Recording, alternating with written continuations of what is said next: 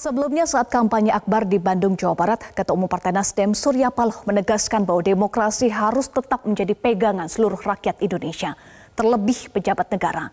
Surya Paloh menyebut tak boleh ada pejabat negara yang mencampur adukan urusan keluarga dengan urusan negara. Tidak boleh dirusak oleh siapa pun juga, saudara. Tidak boleh dirusak oleh siapa pun juga.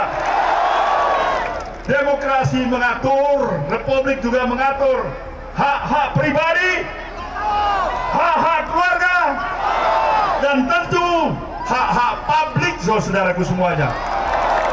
Kita tidak boleh mencampur adukan antara hak pribadi, keluarga, dengan hak-hak publik, saudaraku semuanya. Ini misi besar kita di negeri ini. Ini misi besar kita di negeri ini, saudaraku semuanya.